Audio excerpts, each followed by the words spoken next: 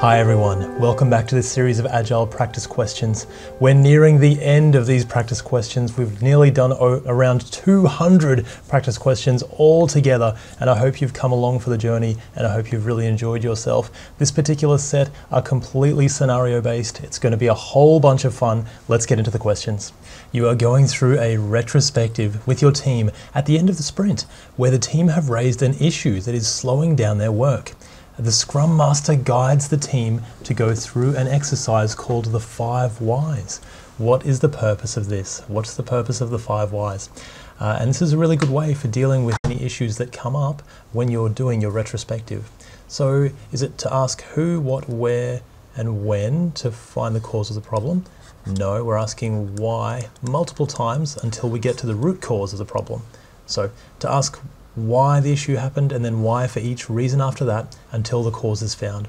That's definitely our one. And this is from the lean uh, from the lean method or the Toyota production system, uh, which basically is where a lot of the agile methods came from. They use the five whys to problem solve and find the root cause.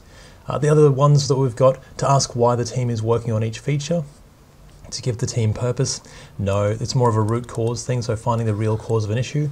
And to allocate the five whys uh, to allocate five whys to each story card to ensure the team knows the reason for working on it. Uh, no, uh, not that one as well. Even though a story card should have the why at the beginning. That's a very good practice for your story cards. We use this, the five whys to problem solve. So let's go with answer B. Answer B. The five whys is a problem solving technique from Lean or the Toyota production system that asks why a problem occurred. For each answer, the team asks why again until they get to the real cause of the issue.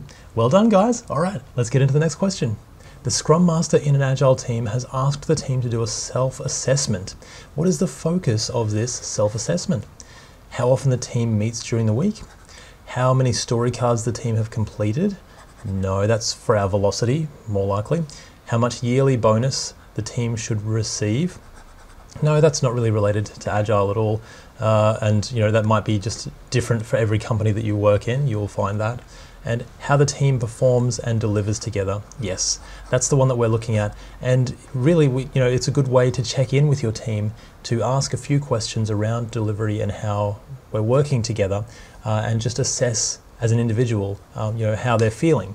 And, you know, it's a really good, good practice to do. Um, and also a good way of getting feedback, which is a great thing as a part of Agile. Let's go with answer D.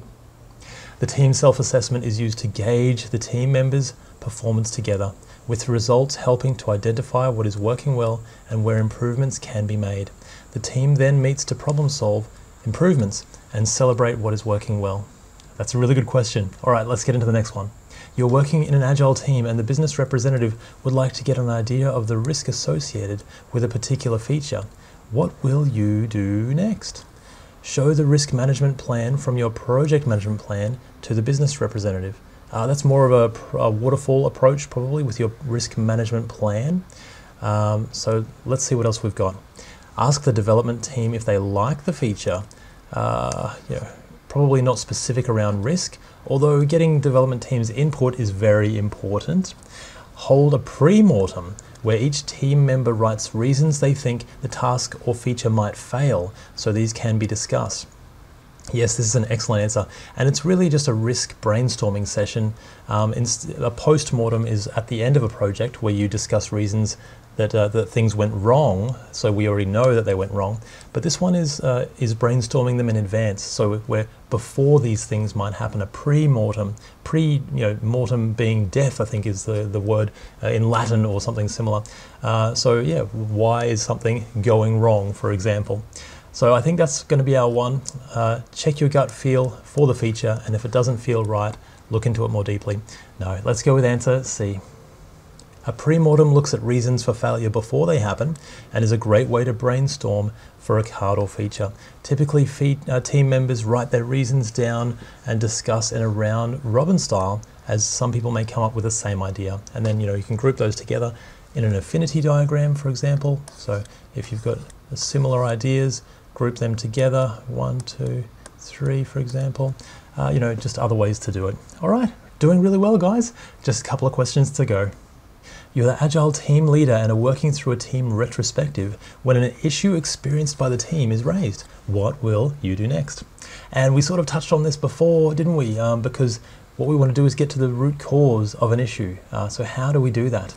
Uh, do we perform fishbone analysis, Kano analysis? Kano analysis is more for value. So, what's the customer value? Regression analysis is for trends. So, you know, what's the trend in the data? Lots of data, data points and what's the, the line of best fit, for example. Uh, you know, is it trending up? Is it trending down? That sort of thing.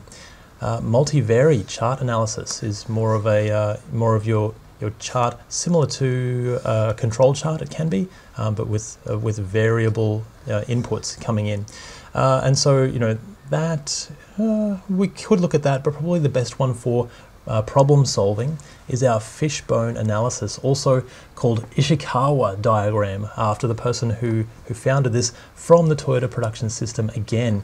Uh, and that's where we have the problem at the head of the fish, and then the fish bones one, two, three, four, and we have brainstorming buckets. So, do we have people? Uh, do we have process? Do we have um, uh, information that people are not getting? and any is issues with the system as well. PIPS is a good way to remember it. People, information, process, and system. And we can brainstorm into those buckets, reasons why these things are going wrong, and it's a really easy way to do it. Anyway, all that to say, let's go with answer A. When an issue is raised, the best course of action is to get to the root cause of the issue. Of the items presented, fishbone or Ishikawa diagram uh, analysis is the best tool for root cause analysis. All right, very good. Let's get into the next question. You've been hired to lead a new project team as an agile project manager. You come on board to learn that the organization uses a hybrid model. What does this mean? And this, you'll see this on your PMP exam as well, uh, because a hybrid approach is uh, part waterfall, but also part agile or other other methods like incremental or iterative, for example. So let's see what we've got here. The team is a hybrid of developers, designers, and business users to get the best return on investment. That sounds good, but it's actually not the, the idea behind a hybrid model. The product you are developing will use both electricity and fuel for power, like a hybrid car. Very funny. Uh, yes, not that one in particular. Uh, hybrid, we're looking at a different kind of hybrid. So let's see what else we've got. A combination of predictive, for example, a project plan planned in advance, and adaptive, for example, iterations, backlogs, Kanban, uh, project methods will be used. Yes, that sounds exactly what we're after, exactly as we said. A hybrid team environment of physical software, physical and software reporting boards will be used. Uh, again, could get tripped up by that one, but that's not the one. It's not a physical or a software environment. It's a hybrid uh, combination of project management methods. Let's go with answer C. There we are. A hybrid project management method uh, means using predictive and adaptive methods. Predictive being your traditional waterfall approach, pre-planned project plans, scope plans, quality, schedule, and risk.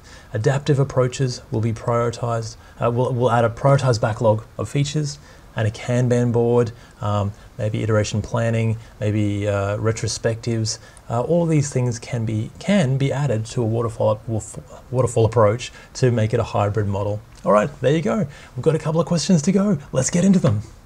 You're the product owner in an agile team working with the developers to create story cards to place in the product backlog. What other, th- oh, in the three C's of user story creation, what do you do first? Okay, and we're creating a card. Uh, I mean, that actually could be the first thing. So, uh, the three C's of user story creation. Uh, so, let, I mean, that's a good tip for us if we're creating a user story. Um, and then, what do we do around creating a user story? Um, usually, there's confirmation, for example, uh, and there's conversation, uh, and then there's do is it creating? Uh, let's have a look. Create the card, which is the physical or software driven media describing a user story. That sounds promising to me. Let's see what else we've got. Confirm the acceptance criteria. I think that would probably be last because we're confirming once everything, you know, once we've gathered all of those things together. Have a conversation with the team to flesh out those requirements.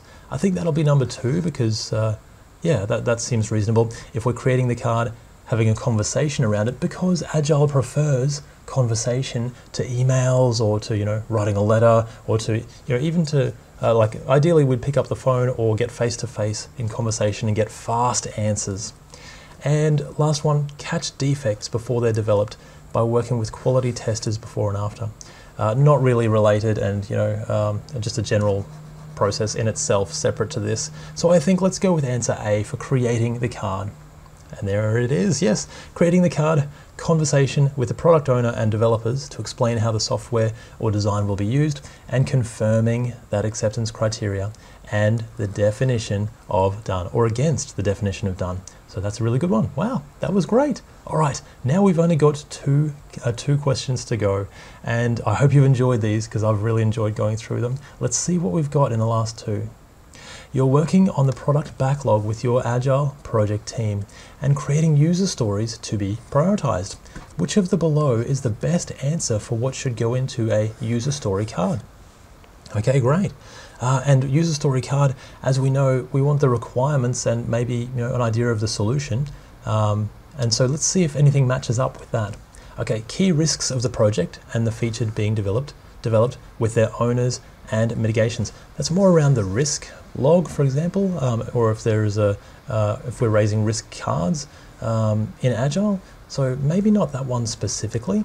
A wireframe of the feature to be developed that developers can work with. That's a good idea, wireframes, but you may not use it in every story card. So what is the best answer for what should go into a user story card? Let's see what else we've got. The requirement, its criticality, yes expected development and test duration. That's fair.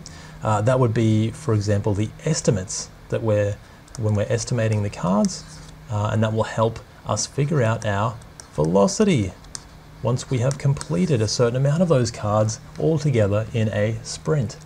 Uh, and the acceptance criteria for that story, absolutely. So what is the definition uh, of done? How do we know when that story has been developed and is a success? What are the steps uh, that we want to that we want to test it against? I really like letter C here. The benefit of the feature so that key stakeholders are aware of what they'll get. Uh, the benefit again is really good. So some of these things could be combined, but may not be in every user story. And but I think the best answer here, let's go with answer C. There we are. Agile story cards should have the requirement, criticality, test details, and clear acceptance criteria. Wonderful way to do it. And now we're up to the last question. Well done, guys. Let's see what we've got. You're an Agile project manager and have begun creating user stories with your Agile project team to go into the product backlog. You have created the card, added requirements, criticality, and acceptance criteria. How handy, we just went through that. so that's a very good, uh, good order to do things in. Now, what are we going to do next? Now, let's see what we've got. Place the card on the Kanban board so that the team can clearly see the future work. Hmm, maybe. That's pretty good. But we might need to do something before that, like iteration planning, for example. Um, have a conversation with the developers about, oh, so you've created the card. Oh, this is good. So this is the three C's maybe as well. Very timely that we've learned all these things in order. So this is good. So now if we've created it, maybe we want to have a conversation. I think that's probably right. With developers about how the software will be used, confirm the acceptance criteria and the definition of done. I think that looks good. Prioritize the card in the upcoming sprint backlog to ensure the work gets done. Gosh, that one looks good as well but maybe we need to wait to prioritize it until the card is more complete. Uh, so hmm, this is getting pretty tricky. Let's see what the last one is. Advise the project sponsor and risk manager of the feature details to ensure risks are captured. Uh, I think we can safely mark that one out. That's a separate process to everything that we're talking about here with creating the cards.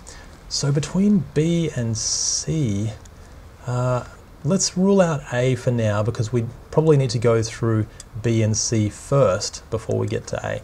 Uh, so do we prioritize the card first or do we have a conversation with the developers about the, how, how the software will be used? I think if we're looking at the three C's of user story creation, let's go with answer B. Great. The three C's on a user story creation, okay, and it goes into that as well. Card, conversation, and confirmation.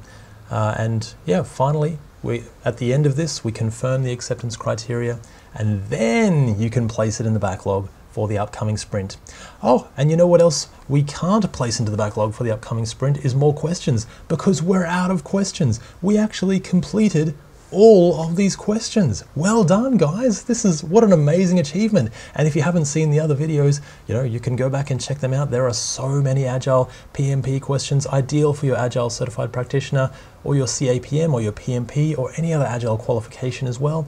And truly, I've had a great time spending all of this time with you doing these Agile questions to help you prepare for your exam.